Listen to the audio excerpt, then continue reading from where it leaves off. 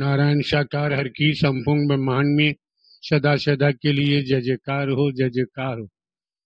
हम दो जुलाई की घटना के बाद से बहुत ही अवसाद हैं। अवसाद से ग्रसित हैं, लेकिन होने को कौन टाल सकता है? जो आया है, उसे एक दिन तो जाना भी है। भले कोई आगे पीछे हो। हमारे वकील डॉक्टर एपी सिंह जी, एवं हमें भी जैसा प्रत्यक्षदर्शियों ने विशैला स्प्रे के बारे में बताया, यह पूर्णतया सत्य है कि कोई न कोई साजिश ज़रूर हुई है।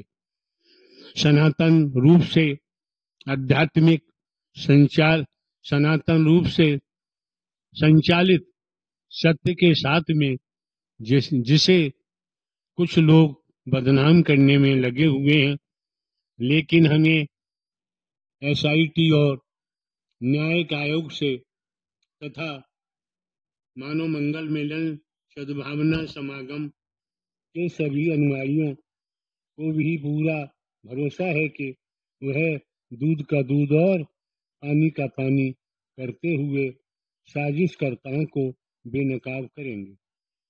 हमने वकील डॉक्टर एपी सिंह जी के माध्यम से, कमेटी के महापुरुषों से भी ये विनती की थी कि दिवंगत आत्माओं के परिजनों और इलाजरत घायलों के साथ जीवन पर्यंत तनमन धन से खड़े रहेंगे, रहने की जिसको सभी महापुरुषों ने अपनी अपनी सामर्थ्य अनुसार मानना भी शुरू कर दिया है। और हम उन्हें धन्यवाद प्रेषित करते हैं। अभी हम चिकित्सों के परामर्श के अनुसार स्वास्थ्य लाभ के लिए अपनी जन्मभूमि निज प्रवास बहादुर नगर में है। सभी महामंत्र का सहारा न छोड़ें। वर्तमान कठिन समय में भी वही माध्यम है। सभी को सदमति और सदबुद्धि प्राप्त होने का। नारायण साकार हर की संपूर्ण ब्रह्मांड में सदा सदा के लिए जय जयकार।